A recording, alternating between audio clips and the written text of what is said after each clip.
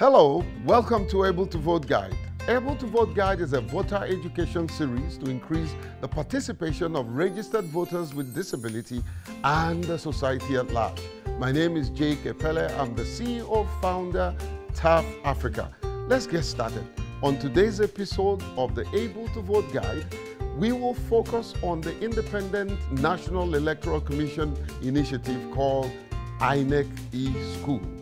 The Independent National Electoral Commission officially launched an online training platform for electoral officials as part of its commitment to deliver a free, fair, credible, and inclusive election. The Electoral Institute developed an e-learning website and app called INEC e-School. The goal of the platform is to enhance the overall effectiveness of electoral training.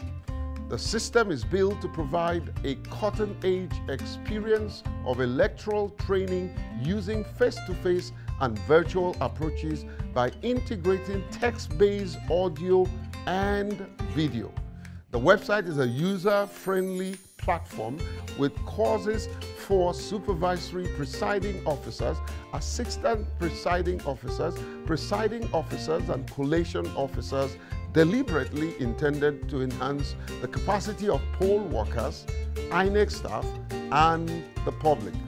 To access the INEC eSchool website on your browser, visit inecschool.org.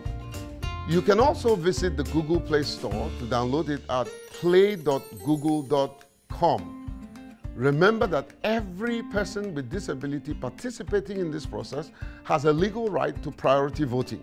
However, in a situation where you have lots of persons with disability in a polling unit, special queues should be maintained to quicken the process and give priority to people with disability to cast their vote with dignity and privacy. This message is coming to you from TAF Africa with funding from the European Union and supported by our media partner. For more information on the activities of TAF Africa, follow us on our social media, visit our website on tafafrica.co. See you on the next episode of Able to Vote Guide. I remain yours truly, Jake Epelle. Bye.